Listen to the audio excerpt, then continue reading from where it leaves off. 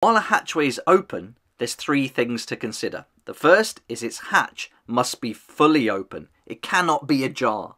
Number two, its access point has the accessible trait. Number three, its hatch has the wall trait. Let's have a look at accessible now. An operative can move through the walls up to black adjacent to this access point as if they were not there. So long as at least part of its base would move through this access point when it does so. An operative cannot finish a move in or on an access point. As an operative must finish a move in a location it can be placed, it must finish the move wholly on one side or the other. An open hatchway's access point does not provide cover, nor is it obscuring. You can watch the full How to Play Kill Team series on my YouTube channel.